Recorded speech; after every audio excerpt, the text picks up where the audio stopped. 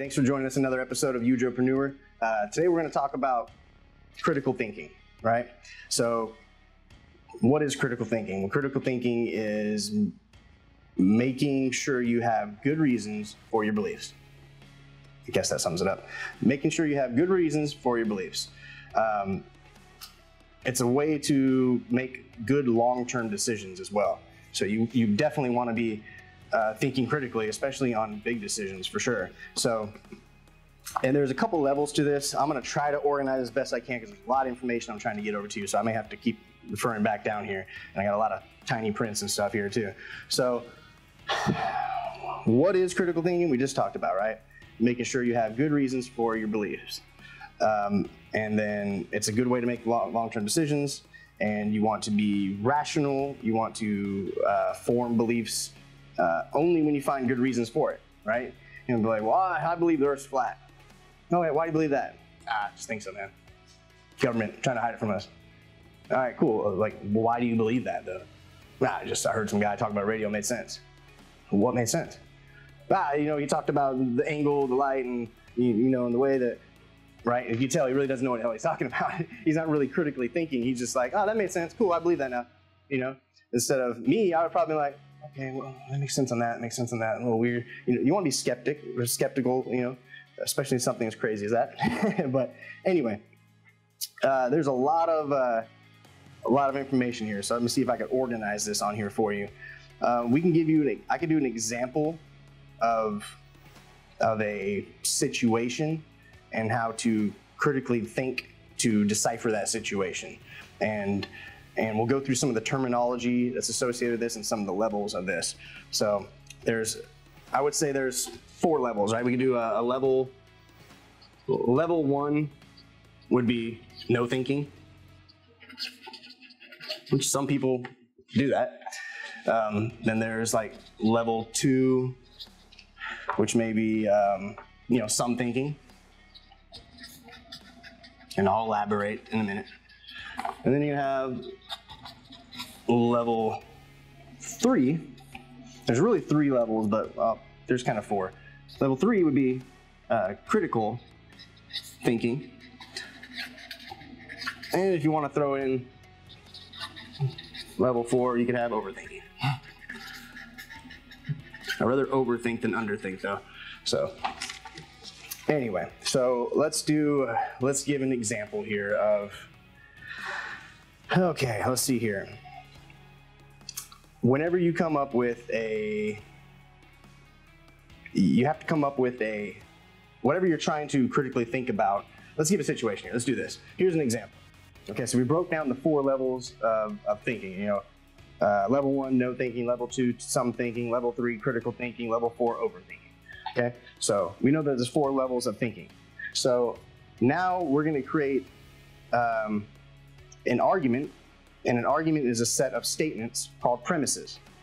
Okay, and together they uh, comprise a reason for further statement.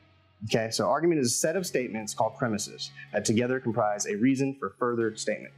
So let's say the, the argument is Here's the example. The argument is I don't think Randall's going to, well, no, let's do this. I don't think, how about, I don't believe it's going to rain today. How about that? That's a very simple thing. All right. I don't believe it's going to rain today. Okay? That is, we'll say, is um, Joe, his statement. Okay, this is Joe's statement. And he said, I don't believe it's going to rain today. Okay, so why do you think that, Joe? Well, I guess uh, for one, is I hate rainy days. Okay? So you hate rainy days. All right. What else? Why, what else do you think it's not going to rain today?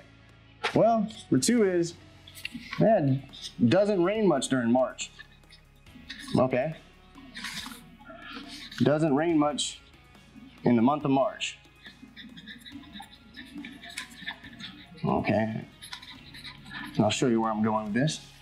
And my third reason is the weather reporter said it wasn't going to rain today. Okay. So the the uh, weather report says no rain, right?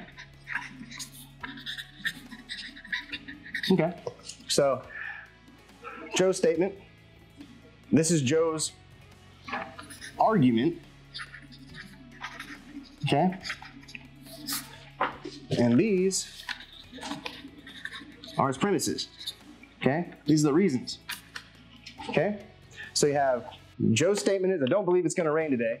His argument is, his argument consists of three premises. One, he hates rainy days. He doesn't rain much in March, and the weather report said it's not going to rain today.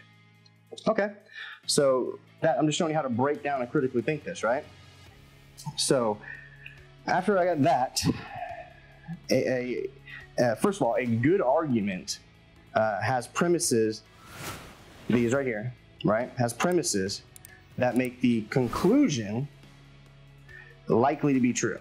Okay, so a good argument, um, a good argument has premises or reasons, right, that your conclusion, whatever your conclusion is, and your conclusion, your conclusion is that you don't think it's going to rain today. Right? Conclusion is you don't think it will rain. Okay? So a good argument, which is the overall set of all these premises, a good argument has premises that make the conclusion uh, likely to be true. Okay? So a good argument has reasons basically that make what he's trying to say uh, be true, likely to be true. All right. So remember, I had the four steps of the, the critical uh, of thinking. Sorry. And a key part of critical thinking is uh, you need to be able to evaluate the arguments, okay, to determine whether they are good or bad, uh, and whether or not the argument uh, supports their um, their belief or their conclusion, right? Whether or not their argument supports their conclusion. So let me see how I can break this down here for you.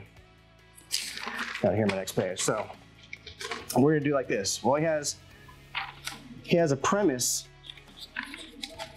right, right here. I'm gonna put I'm gonna put premise one and premise. I'm gonna do present premise one, and your conclusion is that's not gonna rain. Not going to rain, right? All right. Well, your premise one was that you hate rainy days. Okay. All right. And then you got your putting these together for a reason. Your premise two and your premise three. One is it doesn't rain in March much, or likely to rain in March, right? And weather report says so. But they are sometimes wrong. No rain likely, right? Because they never can completely tell you the truth, right? And then has the same conclusion. You know, conclusion is that not going to rain. It's hard to come up with an example for this. Okay, so this right here is is one argument, right? I'm to call this this is argument one, and this is basically argument two. And I'll, I'll put them together for a reason. So if you look at this argument, premise is I hate rainy days, so it's not going to rain.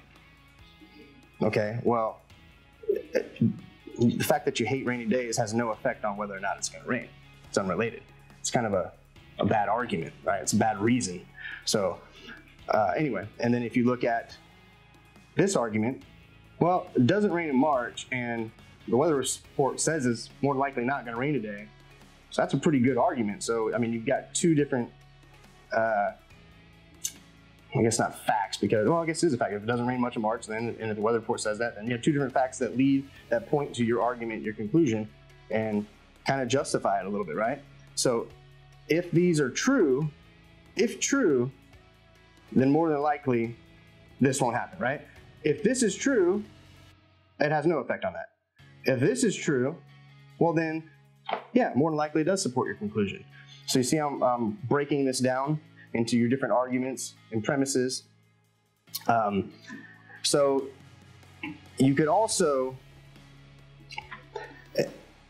this, or another way of breaking it down is this fact, this statement here makes it highly unlikely that that's going to happen. This statement here, I mean, likely that it is going to happen, sorry. And this statement here also makes it likely that that's going to happen. This argument here has no effect on that, so it's, it's just opinion, right, at that point. So this is why you have to break down things like, or for instance, uh, I'm against gay marriage. Uh, oh, why are you against gay marriage? Uh, because man and woman are made to be together. Oh, okay. Okay, that's that's an opinion, really. Uh, I'm against gay marriage because it goes against my beliefs. Okay, I, I can understand that. Cool. It doesn't mean that he has to live by that, but I understand that that's your beliefs. You know, so or you know, um, it's not gonna it's not gonna rain today. Oh, why? Because uh, I hate rainy days. Makes no damn sense. No sense at all, right? Or well, because it doesn't rain much in March, and the Weather Channel said it wasn't going to be. So I can come to the conclusion that yeah, it's more likely not going to rain today. Uh, anyway, so when you're doing this, you kind of have uh, you have deductive and ampliative. Uh, let me write this down here. Let me get another piece of paper here. I'll just flip this over the top here.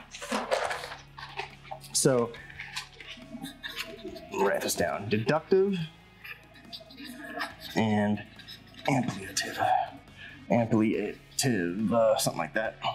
Right? Well, a deductive argument is when is when the argument guarantees uh, truth of the argument. Right? So deductive would be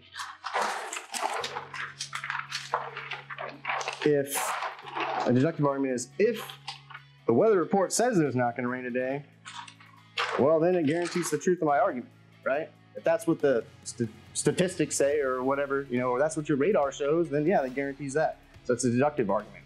An ampliative argument would be like, um, I hate rainy days. That's why it's not going to rain today. Okay, so an ampliative is it's where you make a conclusion. It can make the conclusion, which is it's not going to rain today, possible, but not guaranteed. Actually, this would not be the first one. Sorry. I'll go back and backtrack on that in a second. Not guaranteed true. So a better example of ampliative would be the it doesn't rain much in March, right? Because if it doesn't rain much in March, then okay, well that that makes the conclusion that it's not going to rain possible, but it still doesn't guarantee that it's not going to rain, right? And not that it really does either with the Weather Channel, but if you're looking at the radar and the weather, it's like, nope, no rain in sight, well then it's not going to rain, right? So an ampliative argument would be where it makes the conclusion possible but not guaranteed. A deductive one is when the argument guarantees, you know, the truth of the argument. So uh, both can be can be good arguments too. You know, not everything's black and white. Not everything is just well, this was this because of that. So anyway, so when you're critically thinking of things, uh, and and someone's says something and you're trying to break it down, you can break it down into these kind of so there's four different levels of, of, of critical thinking, and there's no thinking. I'll break this down a little bit more for you. No thinking at all. It's a straight line from emotion to reaction. Um, uh, it's kind of like almost where you you see a sad movie and you cry, right? Or you see something funny and you smile. It's instinctive, right? It's this emotion, straight line to reaction. Uh, the level two would be like uh, there's some thinking. I haven't checked the facts down, but you know, uh, I haven't checked the facts down in the roots, but you know, when things make sense and other things don't, right? And you could maybe you cite sources. Um, and then level three would be critical. You know, uh, think things through to the conclusion, and you don't uh, like you don't text your ex when you're feeling lonely or something like that, right? That's not something a critical thinker would do.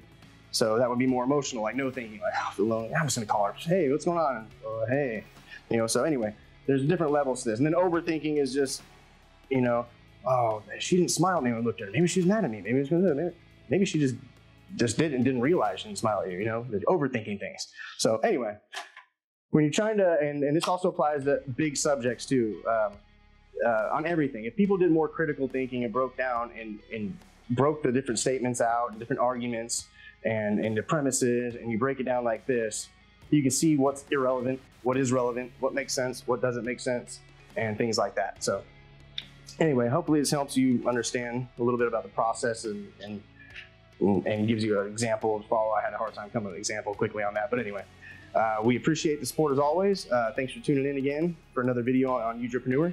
Uh, please hit the subscribe button and the bell icon for notifications. You can follow us on LinkedIn, Twitter, Instagram, all the social media platforms, Facebook. We appreciate the support as always, and thanks for tuning in.